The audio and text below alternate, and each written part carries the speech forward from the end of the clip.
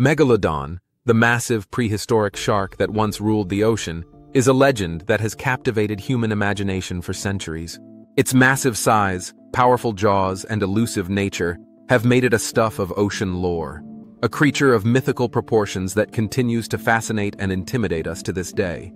The deep ocean is a vast and mysterious place, covering over 70% of our planet's surface.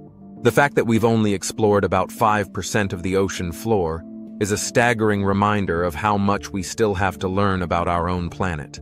The sheer scale of the ocean is mind-boggling, with trenches that plunge to depths of over 36,000 feet and mountain ranges that rival those on land.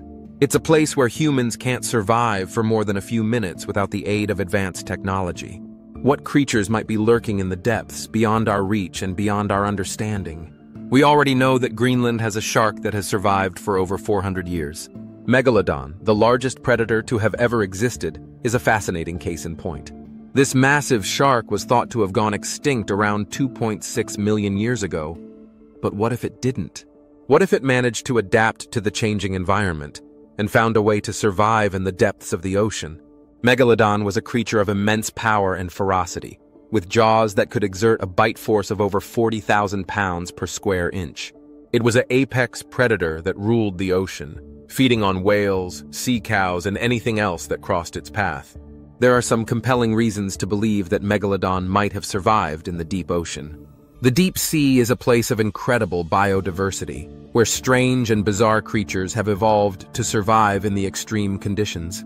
It's a place where giant squid and colossal squid roam, where anglerfish use bioluminescent lures to catch their prey, and where giant isopods scavenge for food on the ocean floor. Recently, scientists have made some astonishing discoveries that suggest the deep ocean might be hiding some massive secrets. In 2017, a team of researchers discovered a massive shark, over 20 feet long, lurking in the depths of the Mariana Trench.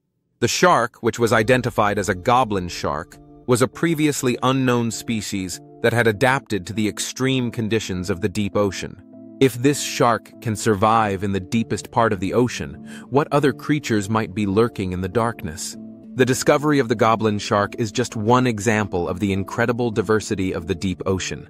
It's a place where the rules of the surface don't apply, where creatures can evolve to become monsters, and where the unknown is always lurking just beneath the surface. Could Megalodon be hiding in the deepest part of the ocean, waiting to be discovered? Let me know your thoughts in the comments below, and if you'd like to see more videos like this, be sure to subscribe for more oceanic mysteries and unexplored wonders.